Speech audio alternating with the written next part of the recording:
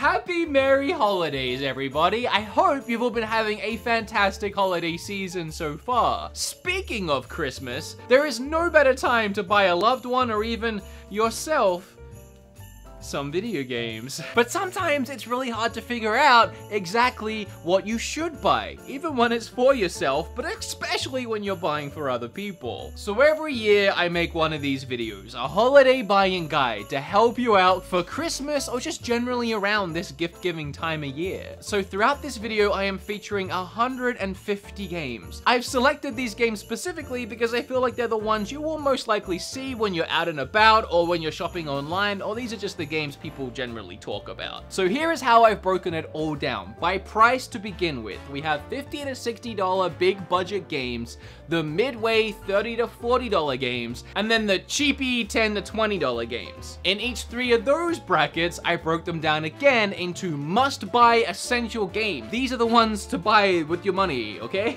And then I have a maybe section. Now the reason those games are in a maybe section is because it kind of depends on the person you're buying it for. And then the third section is of course the avoid. And you just, you do not buy that game. You stay away from that game. All right, obviously with so many games and so little time, I won't have time to explain why I put every game where I put it, but I'm gonna do my best. I'll leave links down below to not only all my reviews of every game on this list, but where you can buy the game too. I hope this video helps you or your loved ones or whoever it is out in some way. If it does, make sure you hit that like button. And it would also help if you share the video around, especially if you know there is someone buying you presents this holiday season. You can send them the video, maybe even timestamp it to the game that you want as a little bit of a wink wink nudge nudge. Let's do this. Starting with the 50 to $60 big budget expensive games in the must buy, you need to have these category. Every time I do a video like this, it always starts off the same way. The big three, Mario Odyssey, Zelda Breath of the Wild, and Smash Brothers Ultimate. Depending on the Nintendo fan you're buying games for this Christmas,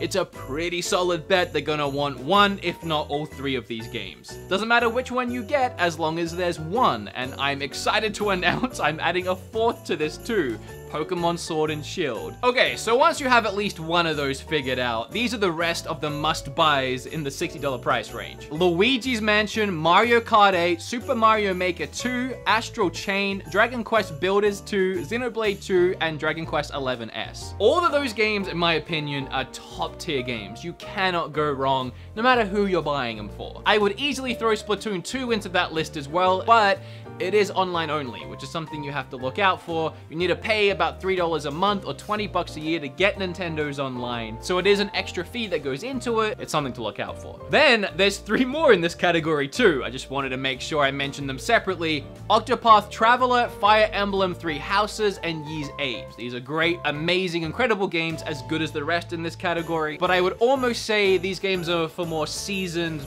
probably adolescent to adult gamers and not so much your young children. Not because of a mature rating or anything, there's just a lot more thinking and strategy that goes into this game more than, you know, mindless Mario fun. But if your kid wants Ys 8, get Ys 8. then we move into our expensive maybe games. Link's Awakening, again, I think that's a must buy, but it does depend on if this is a brand new Switch for someone, I would make sure that I give them the other Zelda game, Breath of the Wild first. I give them both if they love Zelda. Ring Fit Adventure, I love Ring Fit Adventure. I think it's great, but you kind of just don't give that to someone unless they've asked for it. It's a fitness game. It involves a lot of getting off your feet, running around, jumping, kind of like Wii Fit. If someone wants it, then it's a great deal. But if they haven't asked for it, they might wonder why you're buying them a workout. it's kind of like buying someone deodorant on Christmas, like you're trying to send a message. Super Mario Party is a fantastic family game and I do recommend it. Uh, I always make sure when I recommend it though to point out you need at least four Joy-Cons if you're going to be playing with four people and buying an extra set of Joy-Cons if you don't already have one it's going to cost you like 70 bucks. Also I like to mention this isn't a good only game to have on the Switch. If you can only afford to buy one game, I wouldn't go Mario Party. And if you have no one to play any games with, Mario Party is pretty lame. Pokemon Let's Go, they are remakes of the very first Pokemon games. They are great, in my opinion. They're more casual Pokemon games. The reason why they're in maybe is because you have Sword and Shield, which are the brand new, flashy, special, awesome new Pokemon games. You want to make sure you have those first. Marvel Ultimate 3 is a lot of fun. Possibly a little too expensive in my opinion, but I would definitely buy it for a hardcore Marvel fan. Any kid would love it. Labo kits. I still think, oh, there's one right here. I mean, I still think these things are worth it, but again, I bought this VR one, and the only thing I built was the headset, and the rest of it is unbuilt. And that might be how it ends up in your house too. So if you have a creative kid who really wants to dive into this, sure, it's great. Hours and hours and hours they'll be occupied. I would recommend the VR one before the other ones, just because I feel like this has more replay value and there's more cool things you can do with it. Yoshi's Crafted World, it's fun, but it's really short. So if you're buying someone a Switch and this game on Christmas, they might finish the game on Christmas and then be ready for another game. So you might not get your full money's worth out of it. Mario Tennis Aces, it's not bad, but it's not the Mario game you go for first. It's a tennis game. Mario and Sonic at the Olympic Games, yeah, it's the same thing as what I just said. And Dragon Quest Builders. I will still always recommend Dragon Quest Builders, but the second one, which I already talked about in that must-buy section, is so much better, and there's no reason to get the first one once you have the second one, in my opinion. Okay, we have seven more games in this section. I know it's a lot. Here's the thing though, I see these lists as just possibilities. Obviously, I don't think anyone's gonna buy every game in this must-buy section. Or you're gonna mix and match it. But anyway, here's the last seven of the maybes, and all of these are grouped into the same category of if they haven't played them before. Because all seven of these games either released on the Wii U, which was Nintendo's last console, so if they had that, they might have played these already. And those games are Donkey Kong, Bayonetta, and Hyrule Warriors. And then these games, Diablo 3, Skyrim, Witcher 3, and Doom, all of those games have been on systems like your PlayStation 3s and 4s, your Xbox 360s, Xbox One. So they might already have these games, but they are fantastic games on the Switch if they don't have them already and they haven't played them before. And now for the avoids. These are the games that I, I would not recommend getting these for 60 bucks. One, two Switch, just don't. Mario Bros. U Deluxe, this might be a little controversial and maybe I should have put it in maybe. It doesn't make sense to me to buy Mario Bros. U at this point, not when there's both Mario Odyssey, which is a much better Mario game, and Mario Maker 2, where you can make your own Mario levels. Kirby, it's a similar thing to Yoshi, where it's so short, but this is even shorter. It's like four to five hours long. Pokken Tournament, it's just not worth 60. And Daemon X Machina, that's another, I, am in trouble. This game needs to come down in price in my opinion, and it's also a, a, big risk. It's kind of a niche market of people that enjoy mech games. But when it comes to gift giving this Christmas, I just think there's better options.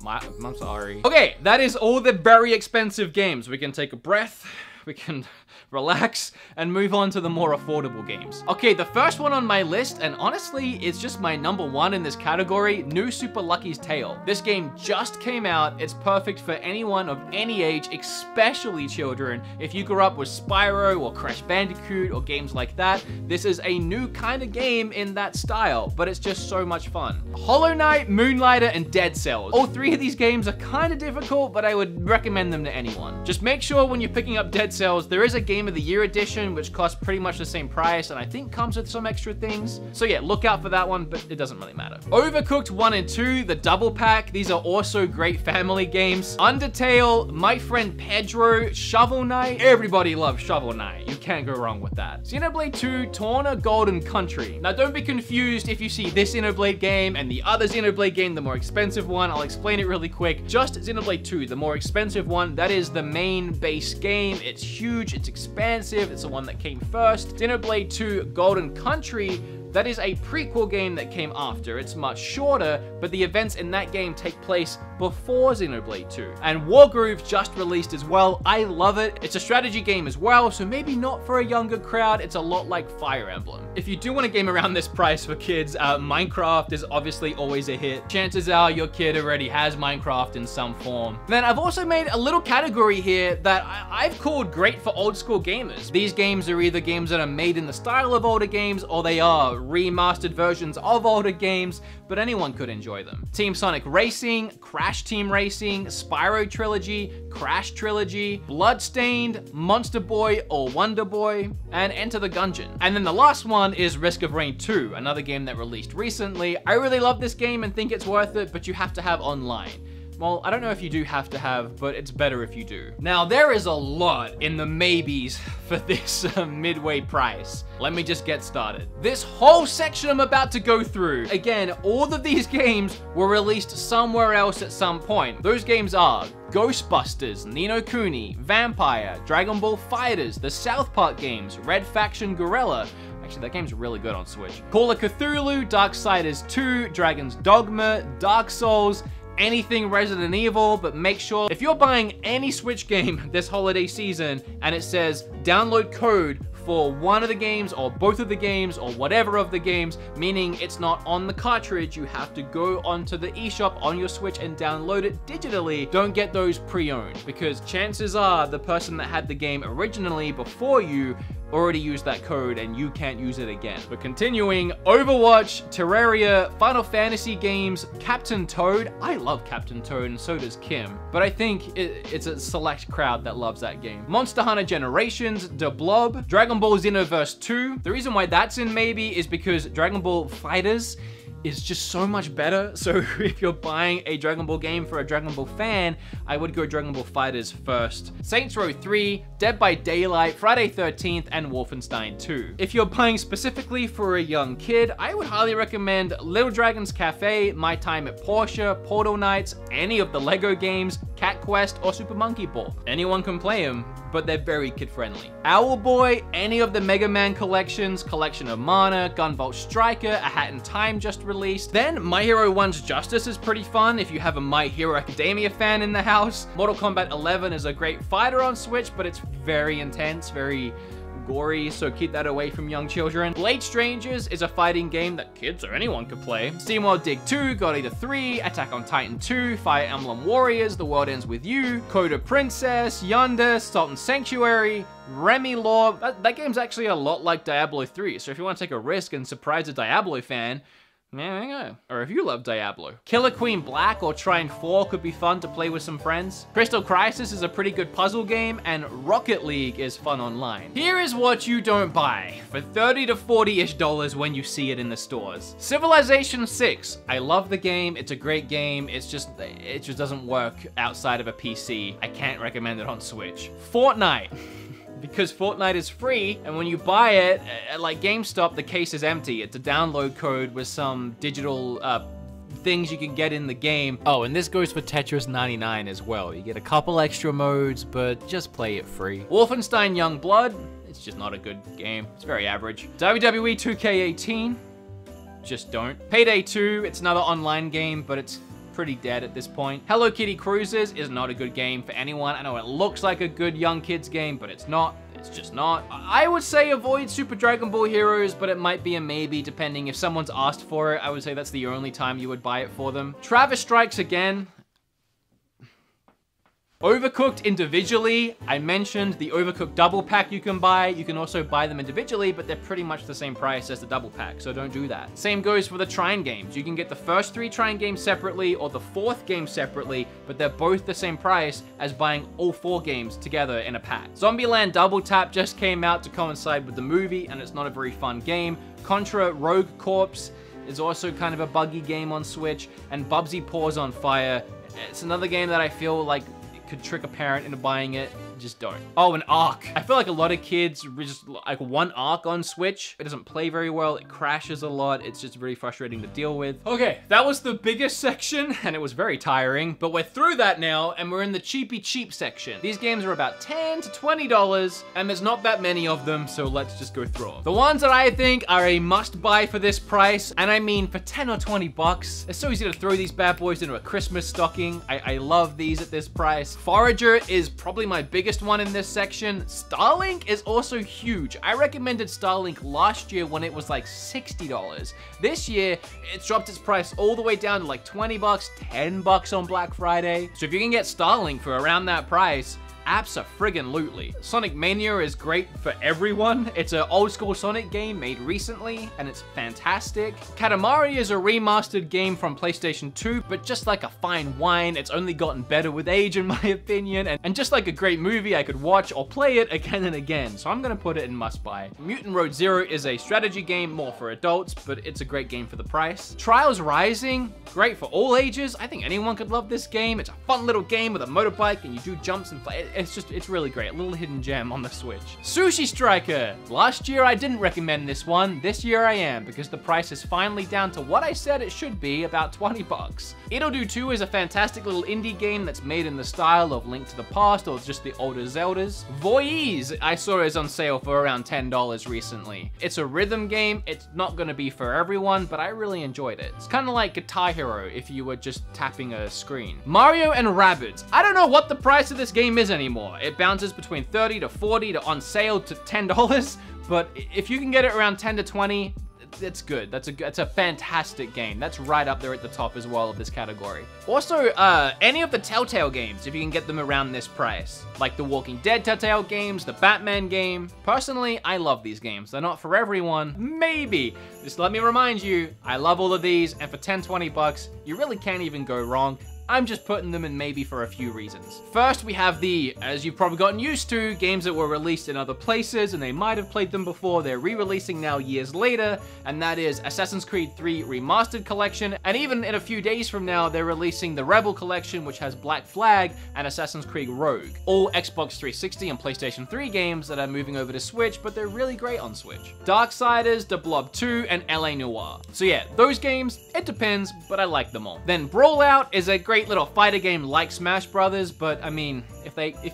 Smash Brothers. Penny Punching Princess is a good little game. Soldam is a, it's a decent puzzle game. I'm not gonna say don't buy it, but I, don't put it first on your list. Tiny Barbarian is a really hard old school style game. Battle Chaser Night War, it's a decent RPG. It's not great, but there's a lot of hours in it for the price. Has Been Heroes is like 10 bucks. It's stupidly hard, but it could be a stocking stuffer. And the Aladdin and Lion King that just came out in time for the Disney movies, I know it might look like a good grab if you don't know what you're getting into, but it's actually the old school Super Nintendo games. It's not what it looks like it's for. It's not for kids. I mean, it could be. I mean, I, I mean, my kid better like it, but I don't think all kids would. Kids like Fortnite now. And then cheapy games that still aren't worth the price, even at $10.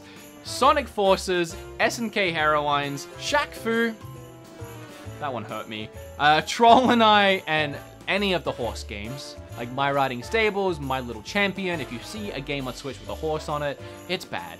Trust me, I've played them all. Don't ask me why, but I have. Okay, as always, this was extremely exhausting. I hope it helped you out in some way, and if it did, you have to smash that like button. You just gotta. And flip all over that subscribe button. But yeah, whether you stick around my channel or not, I do hope you have a fantastic end of the year. I want to thank everybody that stuck out this whole year with me. Obviously, I'm still making videos to the end of the year, but while I'm in this holiday season, just thank you for everything, guys. And hopefully, I'll see you in my next video, which will be right around the corner, as always, whenever, whenever I make it. All right, bye. Hope I helped.